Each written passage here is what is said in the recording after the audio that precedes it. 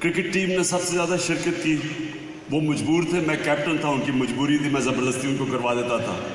لیکن جو سٹارز تھے پاکستان کے، ان کی بہت بڑی کنٹریبیوشن تو یہ میں ذرا آپ کو بتاؤں کہ آپ سب کے لیے کہ آپ نے کبھی بھی کوئی کام اللہ کے لیے کرنا ہو۔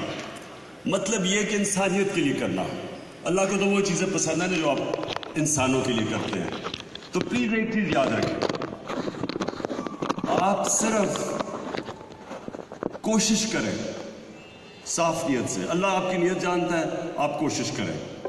تو یہ جو ہاسپٹل ہے، یہ آپ کے سامنے ایک مثال ہے کہ پھر آپ جب کوشش کرتے ہیں تو اللہ مدد کیسے کرتا ہے؟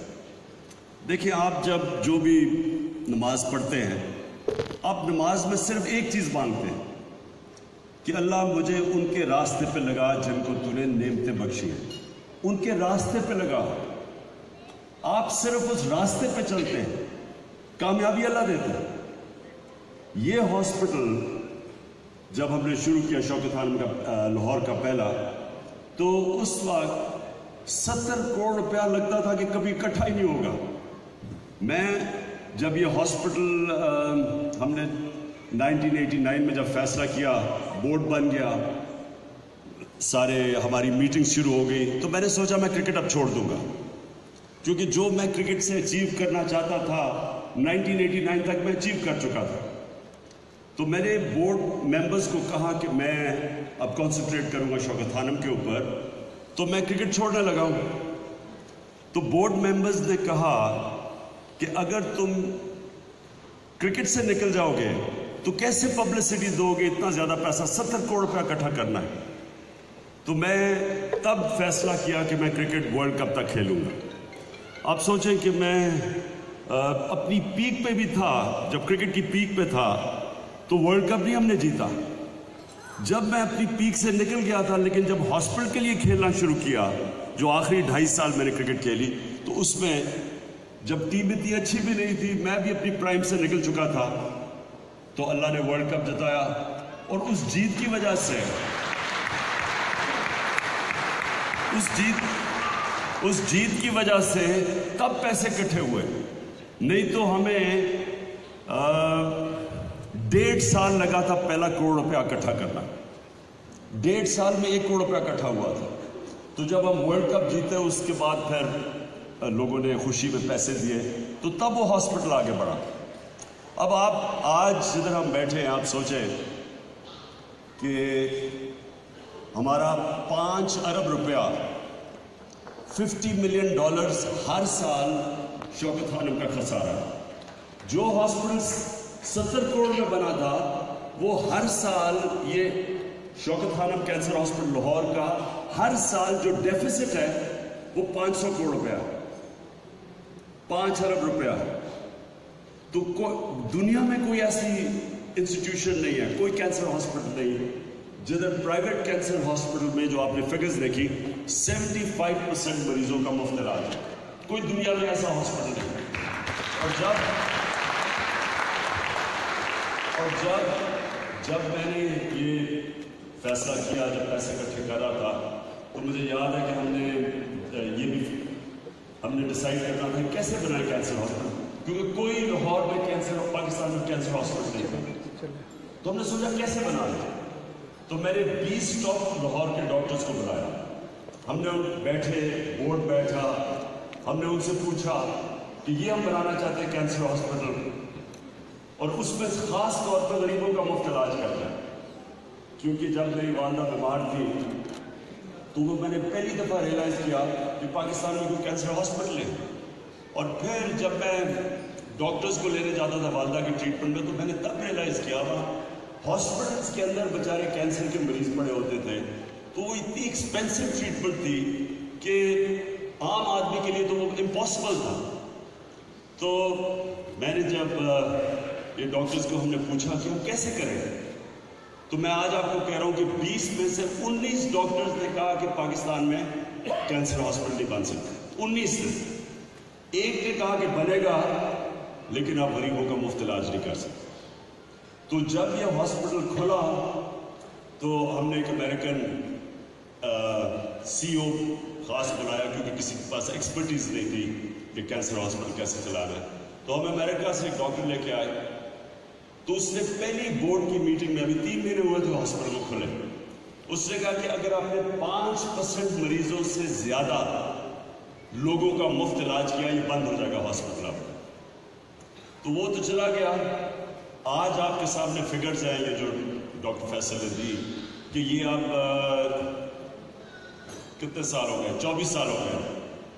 یہ ہاسپٹل جو چل رہا ہے سیونٹی فائیو پرسینٹ سے بھی آگے نکل گیا جن لوگوں کا ہم مفت علاج کرتے ہیں۔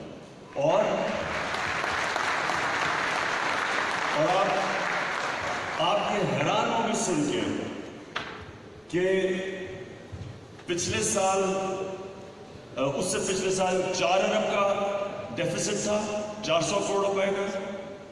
اس سال پانچ سو کروڑ روپے کا ڈیفیسٹ تھا۔ اور ابھی چار پانچ مہینے پڑے فائنینشیل ایئر ختم ہونے پہ، ابھی سے ہی ہمارا پانچ ارب روپے اکٹھا ہو گیا۔ ابھی کیسے ہوا؟ کدھر سے پیسہ آتا ہے؟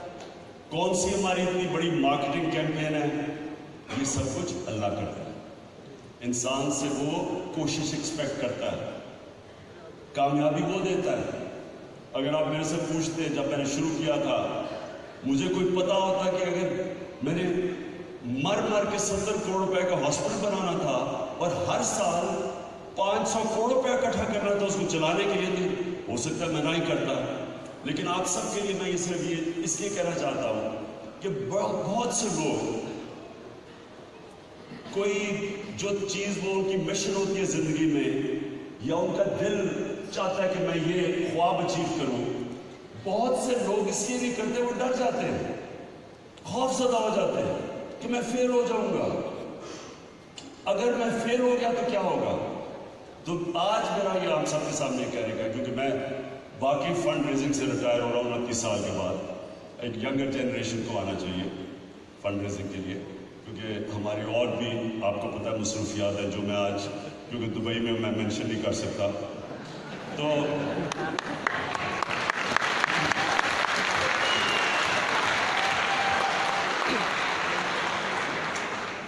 تو یہ آپ کے سامنے ایک مثال ہے۔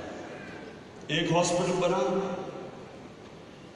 اس کا اربوں روپے کا خسارہ۔ کیونکہ اتنے زیادہ کینسر کے مریض ہیں پاکستان میں پاپولیشن کے حساب سے کینسر بہت ہے۔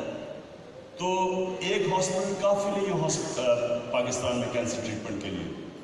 ہر ہر روز ڈاکٹر فیصل ہے وہاں ان کو فیصلے کرنے پڑتے ہیں، کس مریض کو دیکھنا ہے، کس کو بھیجنا ہے۔ لوگوں کو واپس بھیجنا پڑتا ہے۔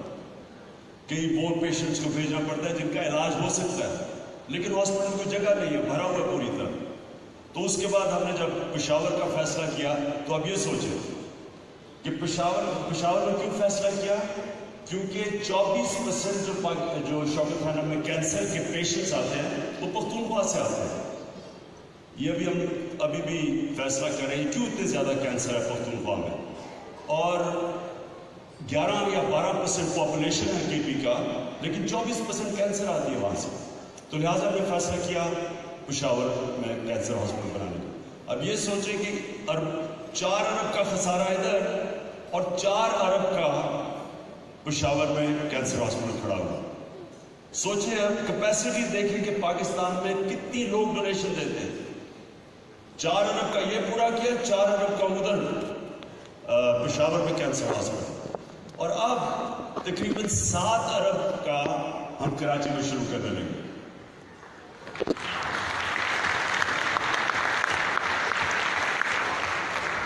یہ سارے میرے سے پوچھیں گے کہ یہ کیسے بنے گا؟ اس میں کوئی کسی قسم کی فیزیبلٹی کوئی نہیں بنا سکتا۔ اس میں ہم میں آپ کو نہیں بتا سکتا کہ ہم کیسے پیسے اکٹھے کریں گے۔ مجھے کوئی آئیڈیا نہیں ہے، لیکن میرا یہ ایمان ہے کہ پیسہ اکٹھا ہو جائے گا۔ اب تک ہوا ہے ان شاء اللہ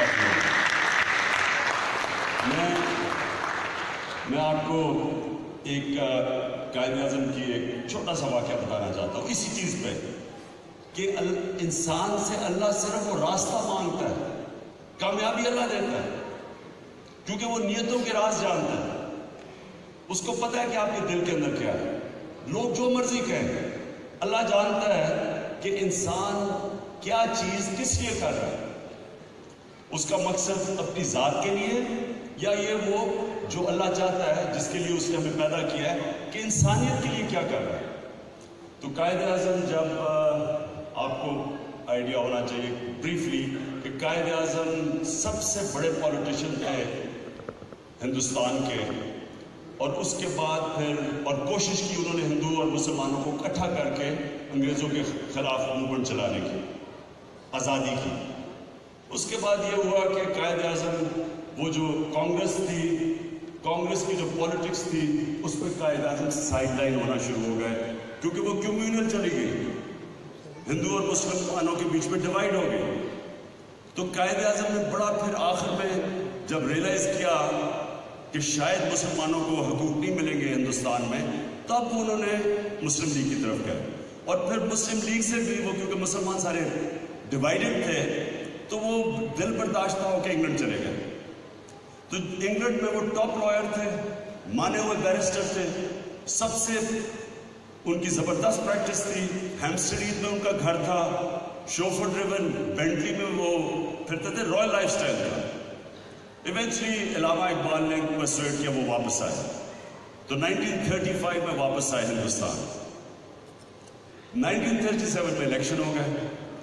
اس میں مسلم لیگ ختم ہو گئی یعنی کسی بھی منسٹری نہیں ملی ان کو۔ تو جب وہ بالکل، اور پنجاب میں ایک سیٹ، تو ان کا ایک دوست ایک انگلینڈ سے آیا۔ تو اس نے ان کو کہا کہ یہ تم کدھر آ گئے اس پالیٹکس میں؟ اتنا تمہارا زبردست لائف سٹائل تھا۔ زبردست زندگی گزار رہے تھے۔ کیا فائدہ آپ کو وہی چھوڑ کے کدھر آ گئے یہاں مشکل پالیٹکس میں؟ تو یہ میں آپ سب کے لیے جو قائد اعظم نے کہا، یہ میرا بھی اور جو بھی آپ میں سے کوئی بڑی سوچ رکھتا ہے، اس کا یہ پرنسپل ہونا چاہیے۔ اور انہوں نے کہا کہ کیا لوگ کہتے ہیں؟ جو بھی لوگ کہتے ہیں، کیا نقصان ہوا، ہارا، جو بھی ہو، اس کی مجھے فکر نہیں۔ ہے میں صرف ایک چیز چاہتا ہوں کہ جب میں اس دنیا سے جاؤں، اللہ کے سامنے پیش ہوں اللہ سے میں یہ سننا چاہتا ہوں کہ شاباش well done mister Jinnah you try your best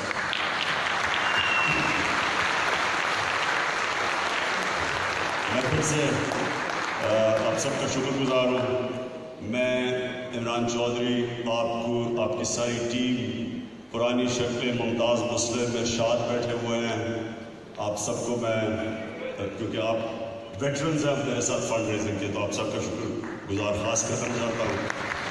اور یہاں فوزیہ کسوری ہیں جو ہماری بڑی پتہ نہیں کدھر چھپی ہوئی ہیں ڈائے ہاتھ۔ ابھی حج کر کے آئی ہیں۔ تو خیر، بہت زیادہ لوگ ہیں۔ میں سب کا شکریہ ادا کرنا چاہتا ہوں کہ آپ نے جو میرے ساتھ مل کے اس شوکت خانم کی پوری کیمپین میں آپ نے شرکت کی۔ اور میں امید رکھتا ہوں، ڈاکٹر فیصل پیچھے بیٹھے ہوئے ہیں۔ کوئی سوالات آپ نے ان سے پوچھے، پوچھ سکتے ہیں اور میں امید رکھتا ہوں کہ آج انشاءاللہ ہم سارے پچھلے ریکارڈ توڑ دیں گے۔ بہت شکریہ۔